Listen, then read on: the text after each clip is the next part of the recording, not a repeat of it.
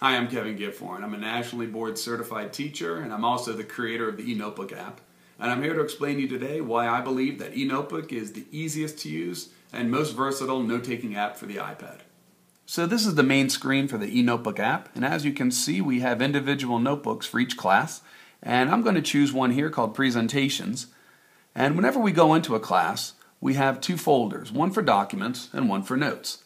Documents are where documents are brought in either through the Open In feature or from Dropbox. And this app is able to open up files in Word format, PDF format, and PowerPoint format.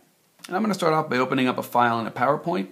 And this is from a presentation I did recently on redesigning the student notebook. And what we're able to do is come along, and when I want to start taking notes, I can just press the pen icon and I can start taking notes. I can also highlight notes. I can change the color of the pen. But what we can also do then is go back to the original file by pressing Reader, and I'm back into the PowerPoint, and again I can take additional notes.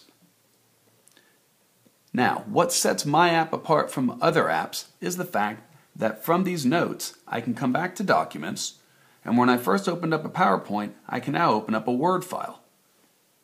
And right here is an agenda for a meeting I'm going to. And I can then start taking notes. I'll change the color this time, I'll make it blue.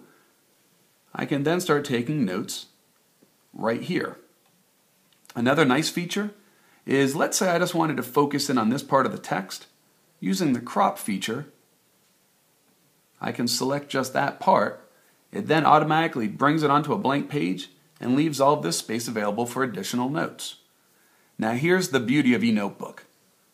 The files are all saved in their original format back in the Documents folder. However, our notes have all been saved in the Notes folder. What this allows is for all your handwritten notes to come from multiple file formats and be linked together into one notebook because that's the purpose of a note-taking app is the notes. There's no reason to be tied down by one format and to have all your notes linked to only one file when instead you can have multiple file formats being linked into one notebook. And that is the benefits of the eNotebook app.